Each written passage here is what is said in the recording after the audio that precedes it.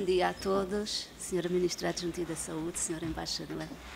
Uh, vou falar de forma breve dizer o que é a Comissão, portanto, é a instituição, à semelhança dos outros comitês aqui apresentados, é a instituição que coordena, uh, portanto, os organismos nacionais que tenham como objetivo uh, a luta contra a droga.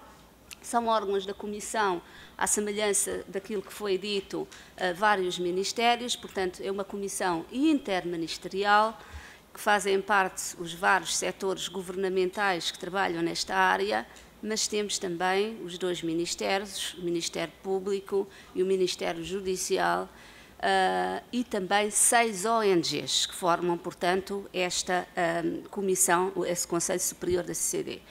A par disso, nós temos também o, o Secretariado Executivo, que é composto pelo secretário executivo, ou secretária executiva, e uma equipa de apoio técnico que uh, tem trabalhado com quatro técnicos.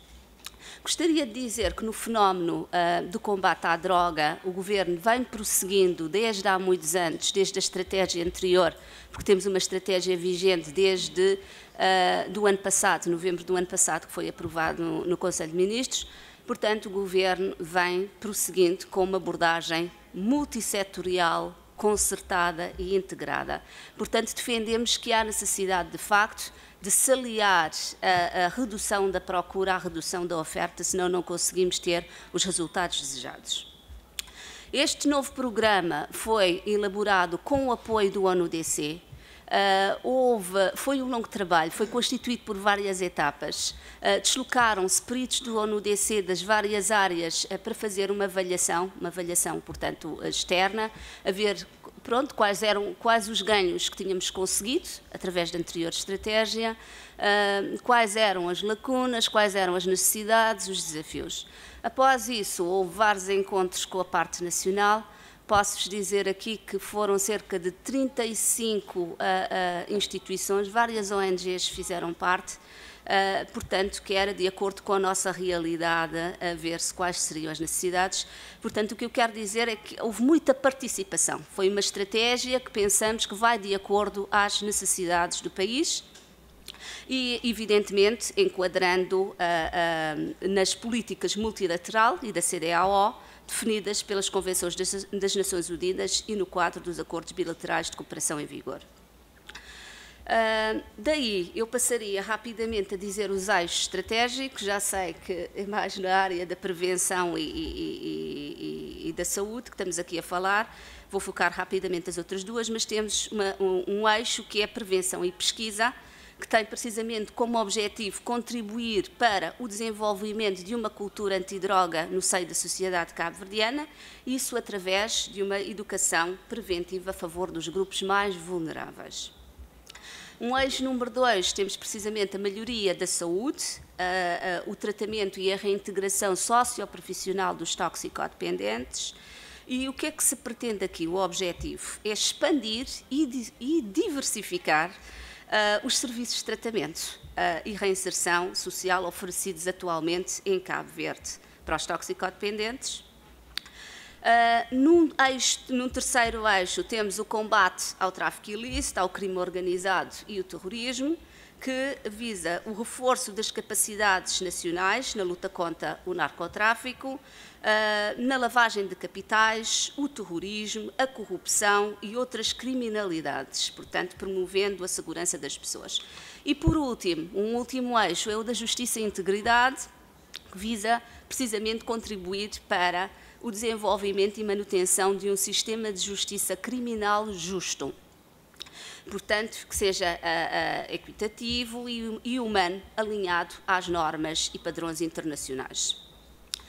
Eu, esta, este programa, portanto, foi antecedido de uma avaliação e que mostrou uh, alguns ganhos para o país, como eu disse, há evidentemente que há os desafios e gostaria de rapidamente dizer aquilo que foi feito já da anterior estratégia e que, eh, pronto, foi visto como uma boa prática, embora com necessidade de aperfeiçoar, eh, mas gostaria de eh, focar aqui.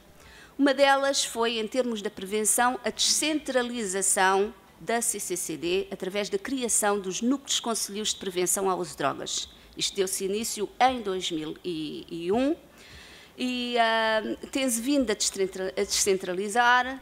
Já tínhamos, portanto, um núcleo em todos os conselhos do país, 22 núcleos conselheiros, uh, mas alguns, uh, portanto, tornaram-se inoperacionais e temos, neste momento, em dois conselhos, falta de núcleos conselheiros.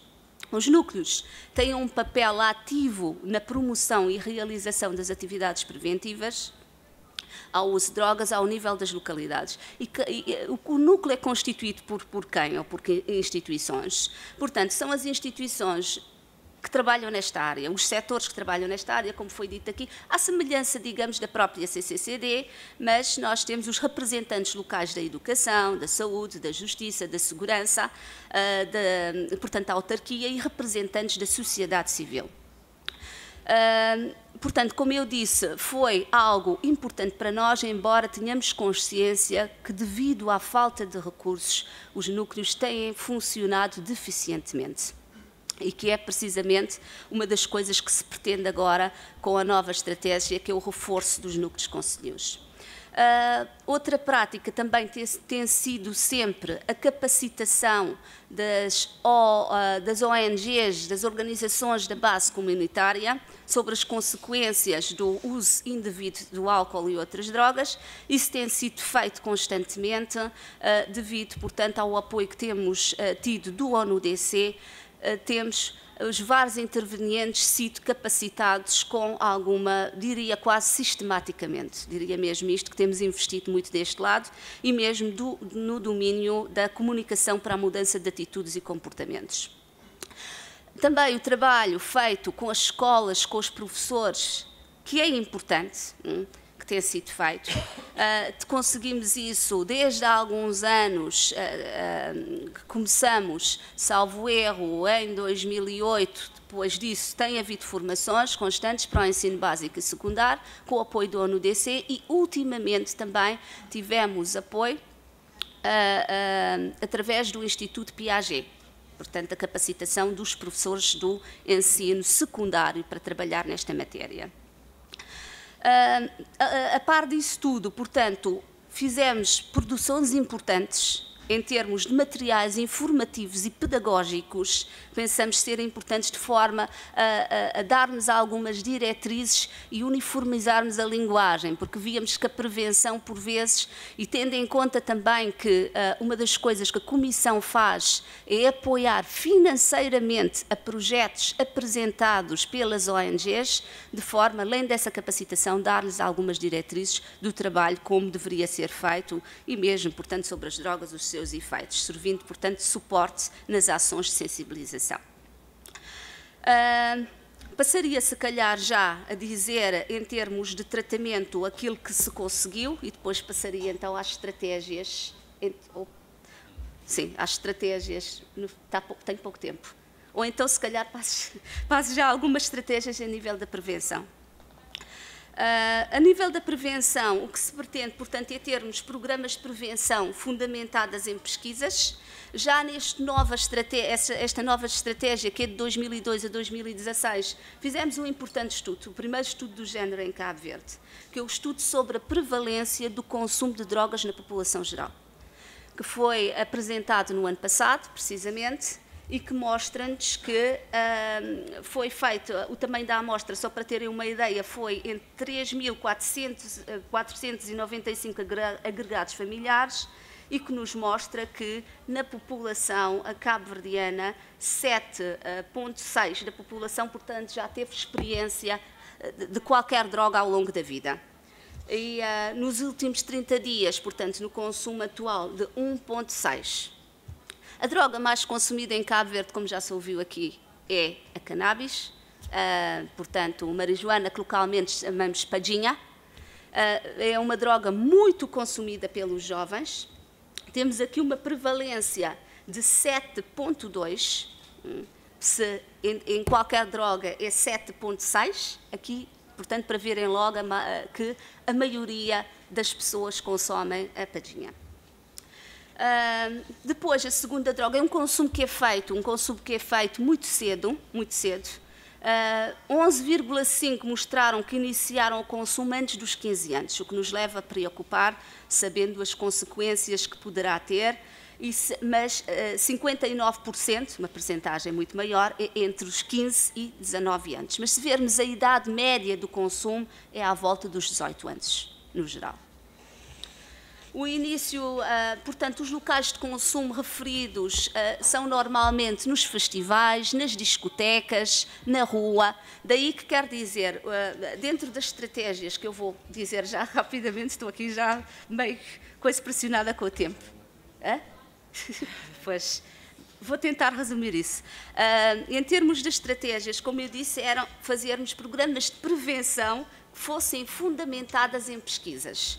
Logo, ah, ah, uma das, das, das ah, atividades ou os desafios precisamente é darmos respostas em determinados locais, portanto, em termos de, de, de, redução de riscos, de danos nos festivais, nas festas e isso, criarmos também equipas de rua, de proximidade a capacitação continuada, isto é já dentro das, das, das, estratégias, a capacitação continuada a vários níveis, a avaliação permanente das ações, que é fundamental para sabermos, portanto, para onde vamos e uh, aquilo que deve ser feito.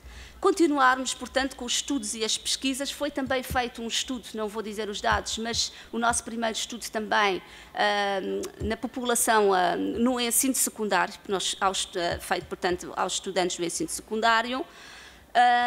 temos, portanto, reforçar essa descentralização, que é importante, fortalecimento das escolas e famílias, uh, o reforço das capacidades da CCCD, que é fundamental reforçarmos a capacidade da CCCD em matéria de coordenação das ações de prevenção e combate à droga no país.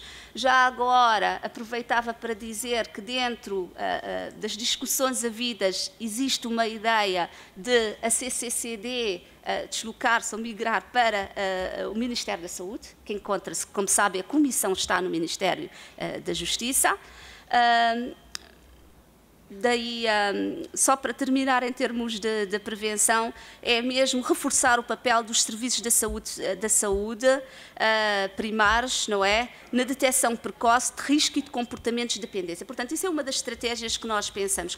Rapidamente, muito rapidamente, em termos da saúde. Já acabou? Já acabou? Já acabou. Dê-me só dois minutos. Desorganização. Bom, em termos da saúde, muito rapidamente.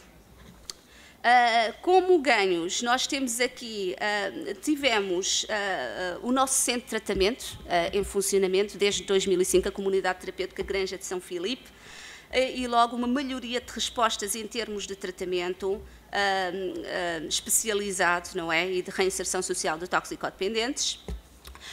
Este centro, evidentemente, que há determinados aspectos que necessitam de ser melhorados, uh, sendo um desses aspectos, sem dúvida alguma, o seguimento das pessoas que fazem o tratamento, não é?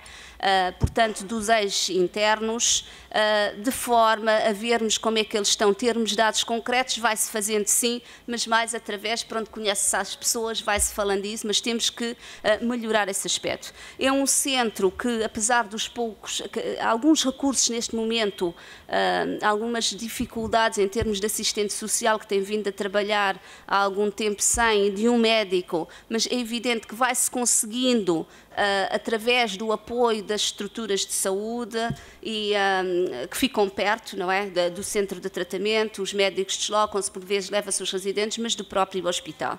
Mas, uh, mas tendo em conta precisamente esses aspectos e também a população que passa pelo centro, temos pessoas de história, de historial de violência, portanto, bastante grave, mas daí digo, tendo em conta os recursos existentes, a comunidade tem conseguido dar respostas uh, uh, positivas e que temos já uh, várias pessoas que passaram pelo centro em, em, recuperação.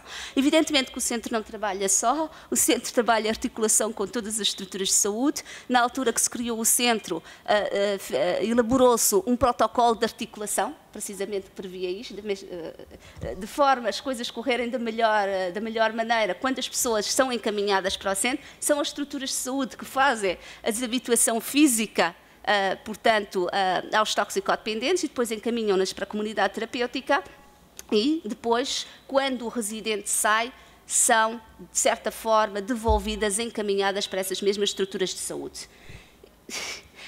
Só, como eu sei que estamos aqui nesta questão de, de, de criminalizar o consumo, gostaria de referir uh, que, na altura da criação da granja, elaborou-se também um protocolo de articulação com as autoridades judiciais.